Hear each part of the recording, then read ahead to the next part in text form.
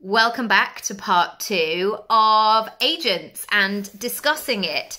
Um, it's a popular topic at the moment. Lots of people who are looking for representation, maybe changing representation, maybe exploring new avenues and thinking, yes, it would be really great to have some support in my corner.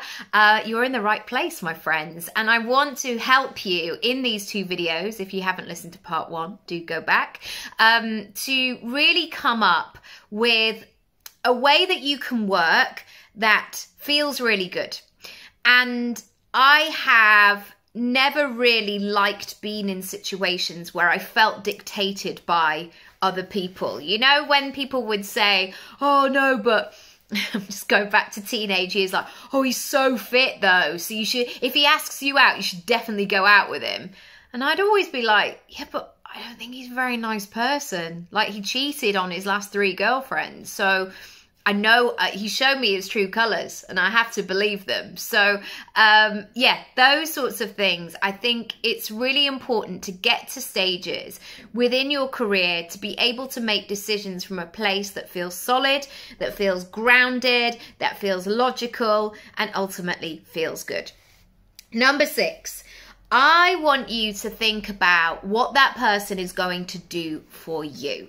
So you may join an agency because you've seen their big clients. You're like, oh my goodness, they represent so and so who's in this TV show.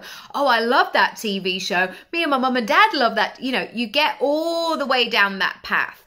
But I want you to think about your career and be selfish about it. What are they going to do for you right now? And I think that's really important because ultimately it doesn't matter who else is on the book. And unless you're going to benefit from it, um, you know, let's be very selfish here. There's no point signing with an agent just to sit on somebody's book and be like, oh, I've got the kind of ego stamp of having an agent. This is about you working. This is about you building a career. So you have to be very aware of what's going to happen right now rather than just hoping and wishing and kind of staying there. And so coming up with some answers in, or some questions rather, in the meeting of what can I be doing right now? Where do you see my casting, or what companies do you see me collaborating with? What uh, what is our first um, benchmark here? What's our next goal that we're working towards? All of those things will be really useful for you. Um, the number seven, I want you to think about the dialogue. Um, and this is tricky sometimes because I think once people get an agent, they they put all of their eggs in one basket. And I think sometimes people go, well, I've got an agent now, so what are they doing?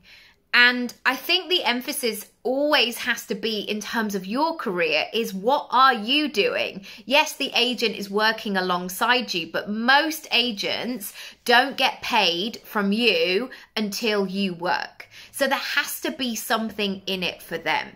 And so your regular dialogue of updating them, of helping them, of putting things together, of being creative, of being front of mind for somebody. It's really, really important. You don't want to be that professional who's a bit like, well, I don't know what they're up to. They're not doing anything. There's maybe not an incentive for them just yet until they know that you are there and you are going to play ball as well.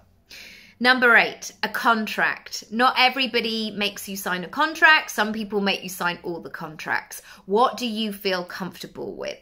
And what does this contract, in the way that it is right now, mean for you in the short term and in the long term?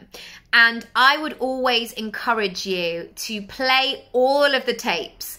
As in, if you get a job tomorrow, that means that you are going to be signing a 10 year contract on a TV show. What does that mean if you have a falling out with that particular agent two years into that?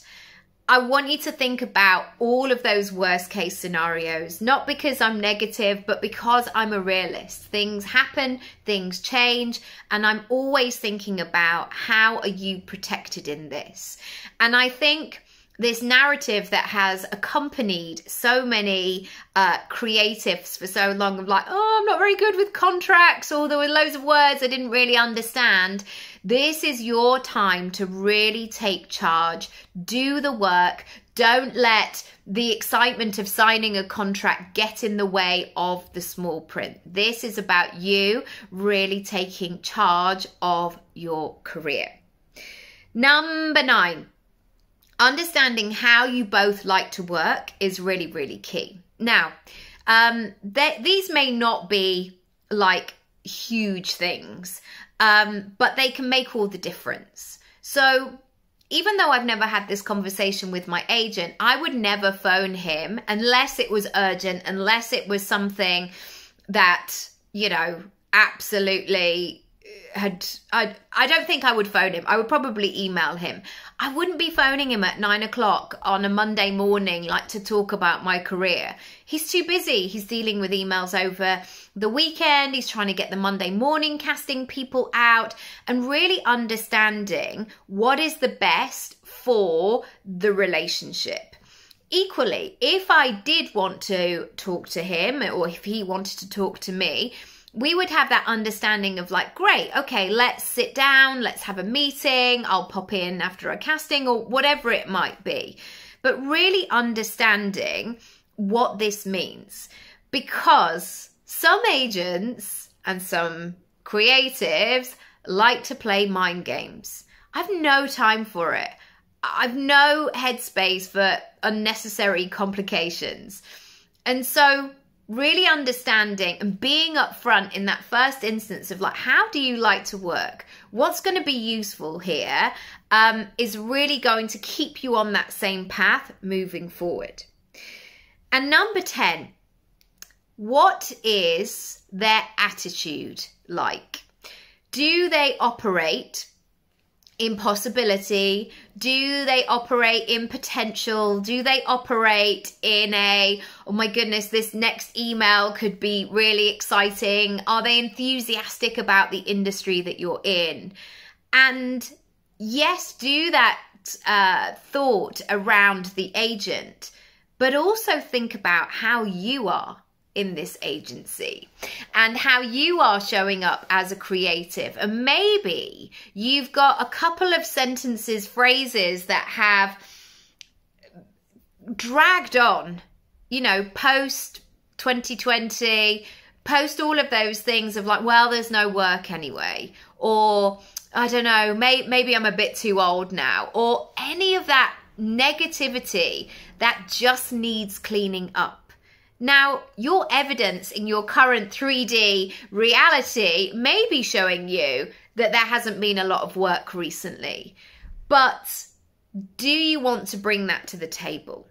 And I would always ask you to think about, in terms of building that new relationship with somebody, thinking about are you going to both be in possibility? Equally when people go into romantic relationships you don't want to enter go well you're probably going to cheat on me anyway. You're probably going to be a nightmare like all of the rest of them. You don't want to bring that old stale baggage into the moment.